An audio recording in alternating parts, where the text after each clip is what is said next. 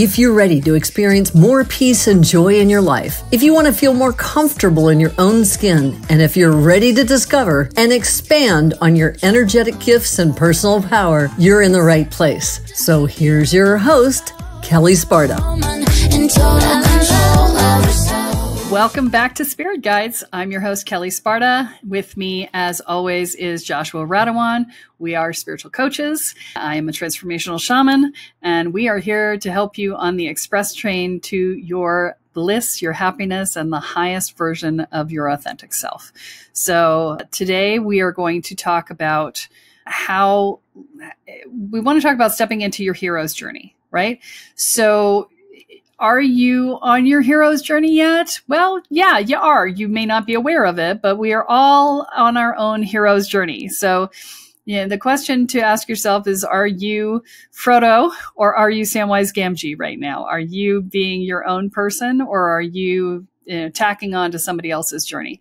Not that Samwise was a bad guy because Samwise was awesome. I'm, I'm, he's probably my favorite guy in the Lord of the Rings. But if you don't speak Lord of the Rings, rings, what I'm saying is, are you the main character or are you the, the uh, sidekick? in your own journey and so that's the question is you know are you standing in a place where you are the center of your story because that is what we are shooting for in this process and I want to be really clear because I can hear people going, but I, I like to be supportive and I like to da da da. I'm like, I can hear you guys like saying this to me. Yes, you can absolutely be supportive. You can absolutely have that be what you want to do in your life. And you should still be the center of your own existence because you're not going to be the center of somebody else's. And this fantasy of the the U.S. culture and movies, the Hollywood fantasy of you know I'm the center of your uh, you know in a, in a perfect partnership I'm the center of your happiness and you're the center of my happiness and and you know we we do it for each other is an unrealistic fantasy. It really is because it sets you up for failure because at some point your partner is not going to be available to take care of you whether they're out of town, whether they're sick, whether they're just exhausted or having a bad day or not available, right? And then if you are not responsible for your own happiness, then you're left sitting there going, oh, nobody's taking care of me. And nobody takes care of you because the person who is responsible for that is not there. And that's exhausting for each of you to have to be responsible for the other's happiness you need to take back responsibility for that, that you need to be the center of your own happiness. You need to be responsible for it. It needs to be your job. You can delegate it at times and sometimes a lot to your partner and say, you know, I I I need, right? So I I had a tough day yesterday personally. And my husband was just wonderful. I just like and he was like, "What do you need, honey?" I'm like, "I need popcorn." Would you make me popcorn? And he's like, yeah, I'll make you popcorn. My, I'm, I, I am blessed to be married to a chef. So he'll make me anything I ask for.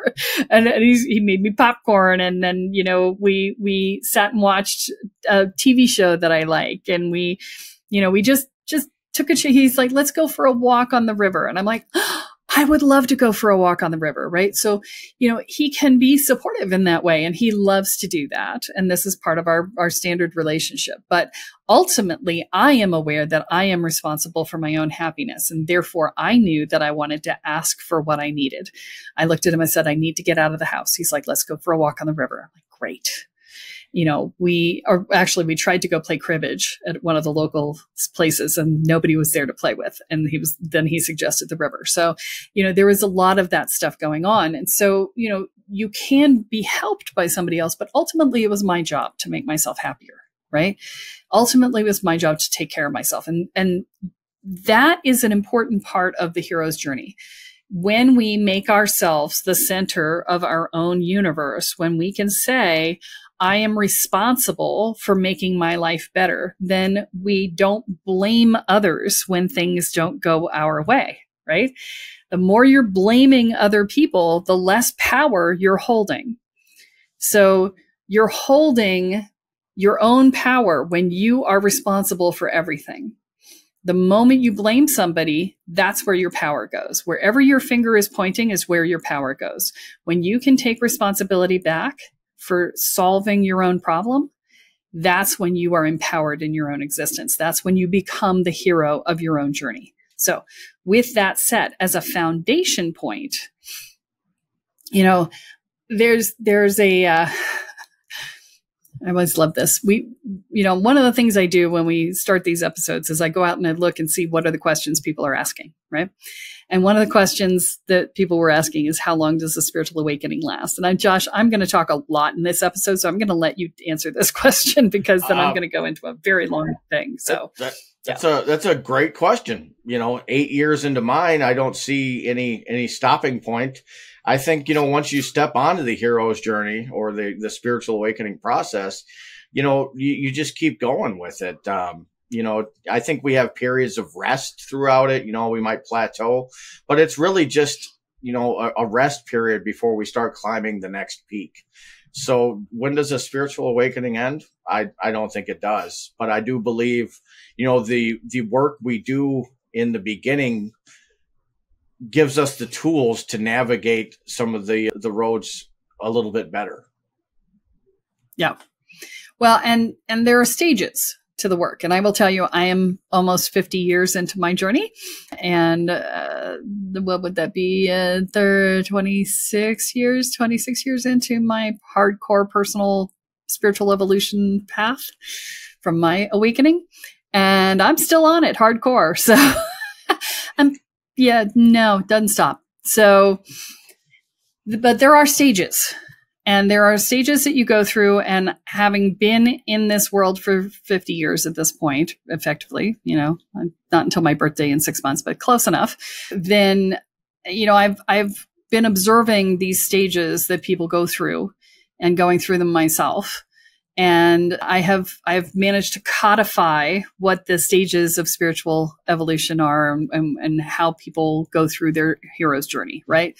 And so i'm going to talk about that with you today. And this all comes from my book the overachiever's guide to spiritual awakening. And that's available on my website when you're when you're if you're ready to to do that. It covers a lot more than just this but yeah but let's talk about this. So the first stage is what I call the discovery stage. And it is the stage where you wake up and you look at your life and you go, there's got to be more to life than this. And you go out and you try and find some change that might be possible. This is when most people come into spiritual work as they're in the discovery stage. And, you know, you come in looking for a solution to your life and you get distracted by angels and tarot cards and crystals and you know all the white light and bunnies right? 5d consciousness and all of the things right? And there's so many things. Oh my god so many things. Like so many things that i've been studying this stuff for 50 years and every uh, you know at least once every three months somebody comes up and asks me a question about something i have never heard of. That's how many things there are okay and and there's constantly new stuff being channeled and all the things right? So you could get distracted in this section for forever. But for the average person it takes about two to five years. They get lost in the the woo woo you know bright and shiny all the new things for two to five years. And that's one of the reasons why we're doing this podcast is i want to make sure that you guys can get what you need without having to lose two to five years in the process, right? My goal is in 10 to 15 episodes, you will get through the discovery phase and move into phase two, which is proof and proselytizing. Okay. Now, proselytizing, for those of you who aren't like, you know, vocabulary queens and kings, is it, it's going out and preaching to the world, right? So, so proof and proselytizing means, holy crap, this stuff really works. I must tell everyone I know and drag them out to classes with me so they won't think I'm nuts. Okay. That's this phase. right? And we all go through that. And so, you know, this is the stage where you're bringing people into the classes that you're taking and you're, you're quietly telling your friends and hoping that they want to come along because that's a little scary if they don't and, and, uh, all the things, right? And we talked about that on the last episode, which if your friends don't want to come with you, there's a chance that you may lose them, right? And so that's part of what this process is about is that there is an inherent understanding in your beingness that you know that if they don't say yes to coming to this with you, that you may not be able to keep them in the long run if you keep going down this path, right? So stage three is what I refer to affectionately as the spiritual orientation slash addiction and prove it stage. And so this is, there's a combination of factors in here, right? So the, once you realize that this stuff really works, then you're trying to figure out where you fit in this brave new world that you have exposed yourself to and how does it work, right? We we are generally people who are really safety focused. We're like, I need to understand what's going on so I don't screw things up, right? That there's this phase that you go into and it it starts off with orientation. And so you're buying every book you can find, you're downloading every podcast you can listen to, you are you're you're going to classes and oh, my nose. And you are basically trying to consume as much information as humanly possible in order to really orient yourself to this new world.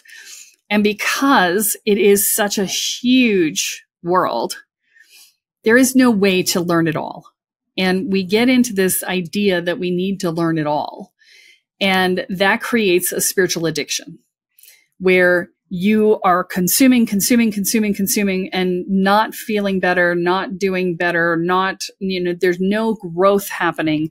It's just consumption happening. And that is a spiritual addiction. And so, you know, there's this place where you have to figure out, you know, how much is enough before you can move into the next phase, right? And, and the, the, the same time as you're doing this, you're also doing a prove it piece, which is prove it to yourself that you can do this, not just that it works for other people, but that it works for you. And so, you know, you often end up in things like law of attraction and magic and, you know, the healing work and anything that is energy based that you can do, that you can prove to yourself that you can do it. So psychic skills, things like that. And so all of these things happen together which is kind of this mush of stuff happening at the same time because you're orienting, right? And then at some point, you have to stop looking for the magic pill that solves all your problems because that is the key to getting out of this phase, right? You have to stop looking for that magic pill because that's really what you're doing. You're like, oh, I'm orienting. Oh, I'm learning about this. Oh, I'm interested in that. But no, you're looking for the magic pill to solve your problems. That's what this journey, that's what this part of the hero's journey is all about. And so instead, you need to turn inwards and realize that you are the answer to your problems. You are the solution to your limiting beliefs. You are the answer. The hero's journey is you, right? It's not outside of you. It's not what, something you can learn. It's not something somebody else can do to you or for you. It is you. Okay. And when you do that, that's when you enter into stage four. And that's usually where people come to work with me, by the way, to work with the, this is where people enter into the spiritual, the, into the mystery school. So let me just define that for people for a second. A, a mystery school is the place where you learn how to evolve as a person and you learn how to master the energetics of the world around you and you learn how to develop your highest level of human potential. So that's the definition of a mystery school. And the Spirit Guides Mystery School does all of that. And, and at stage, uh, you know, stage three, stage four is right about where people come in and start working with us. So if that's sounding familiar to you, this would be the perfect time for you to come and see us. But stage four is retreat for, for personal reflection and study. So this is where you're actually beginning your true personal growth work and you're really starting to make transition, right? So once you get to that, there's stage five, which is surrender to the universe, learning how to be and releasing control. And I know that that sounds overwhelming right now. Don't panic. When you're ready, you're ready. And that's, that's where you'll be. Uh, stage six will be choosing who to be and stepping into your power. And that one again may feel a little like, hmm, I don't know right? But it's it's there. Stage 7 is awareness and reflection. It's letting go of the story of who you are, okay? So there's choosing who you want to be in stage 6, but then there's stepping into, you know, letting go of the story of who you thought you were, right? Because you can choose who you want to be, but you still have to let go of that other piece. And that's often where we get stuck. It's like, oh, I want to be this person, but this is who I am. This is who I am. This is who I am. It's like, but I want to be this person, but this is who I am. And so that's the identity tango we talked about in the last episode. Stage eight is stripping down. It is letting go of fear based responses that hide your true self. And, you know, this stage you really kind of do in concert with stage seven. So, you know, in, in this stage, you're really identifying and removing the masks that you're wearing, the coping mechanisms that you've got, the judgment based patterns that, that are, are in place. And all of this is to find the real you underneath everything you know, and, included in this is, is, the roles we play, you know, the dutiful child, the perfect parent, the ideal spouse, all of these things, right? And the ways that you define yourself, the, the you know, these are the things that make you be less than your authentic self. And all of these have to be examined and released to free yourself from the limitations involved. Okay. Now, that's stage seven and eight, which are kind of done together. Stage nine is self acceptance and owning your power. Okay. Now, this stage is where you learn how to step into your power and trust yourself. Okay. So I know we talked about owning your power in stage six. I think it was. Yep. Stage six. It's that's stepping into your power. That's a testing stage, right? So we, we test if we can do this. Well, I'm going to try it. I'm going to try it. It's, I'm going to try it you know, little bits here and there. And this happens a lot, especially in like the law of attraction, right? You'll see people do work in the law of attraction. They'll manifest something amazing and they'll be like, wow, that's really cool. And then they will never try to manifest anything ever again. Okay. That's a stage six response. Okay. Because they saw their power, got intimidated by it, and then walked away from it. Okay. That happens a lot. And so that's why we have two stages. We have the, you know, you test it out and you go, mm, I'm powerful. What does that mean? Right. And then we freak out, shut down, walk away. Nope, not opening that book again for a while. Right. And the thing about that is, is that, you know, we, we limit our power. We limit our access to our power for so long as we hold rage and oftentimes we haven't done the rage work by the time we hit that stage six. And so when you know that you will go ballistic on people once in a blue moon, and then you see you are an incredibly powerful human, you'll be like, nope, can't be powerful. I might lay waste to the world on those moments that I go ballistic on people, right? And I don't want to do that because I'm a good person. So I'm going to take my power back. Or maybe you were stepping into your power at some point and hurt somebody's feelings and you damaged somebody and you're like, mm, nope, nope, nope, never forgave myself for that thing that I did when I was 12. Been paying penance for that for the rest of my life. And now I can't own my power because, you know, I hurt somebody once 30 years ago. it's like, but we do that, right? We think, oh, I can't be trusted with power. So we don't give ourselves access to it. And so this is why there are two stages of power. And so in stage nine, we are really stepping into self acceptance. And that part of that is self forgiveness, right? Um, which, by the way, Carol Burnett has the best definition of forgiveness I have ever heard in my life, which is forgiveness is giving up all hope of a better yesterday. And so that is literally the acceptance of and the, the stopping of the shoulding of things should have been different, right?